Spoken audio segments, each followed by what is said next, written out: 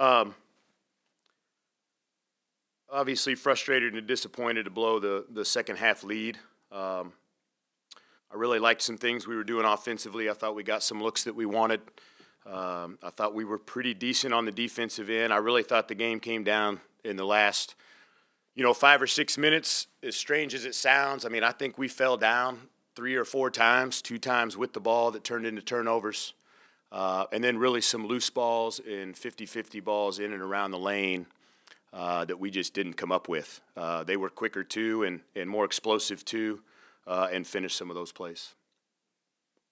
So it's a pretty fine line if you guys win a game. Another case of being a fine line here. Yeah, I mean, we just the margin for error, Jeff, is really small, and when you they're making a run and we dribble in and just fall down and turn it over twice, those are those are plays that we need. We need the opportunity to score in all those plays.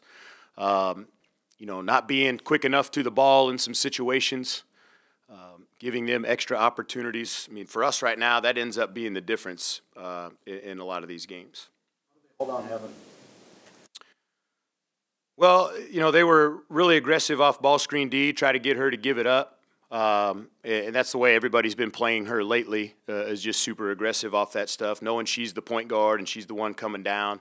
We still got to work to get her off with the ball. We'll get Renia back, I think, on Saturday, so that should help. Um, but just making her work extra hard, frustrating her a little bit, and then getting her to take some quick ones and some ones that she probably doesn't want to take but feels like she has to just because that's her chance.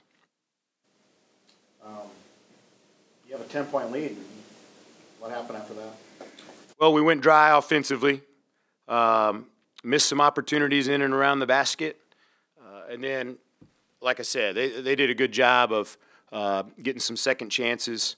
Um, you know, they had 17 second chance points. We've been a pretty decent box out team, uh, but it seemed like all those were at a, a, a pretty, you know, in a narrow time frame.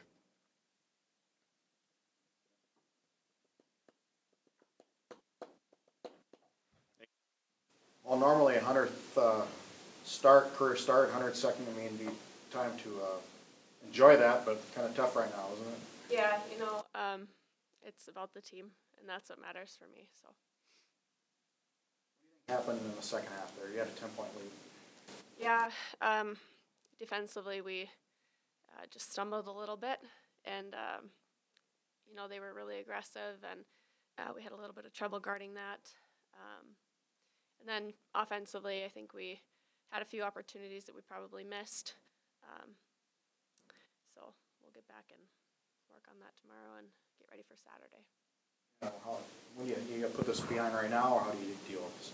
Uh, you know, we'll watch film tomorrow and learn from it and uh, just continue to take steps.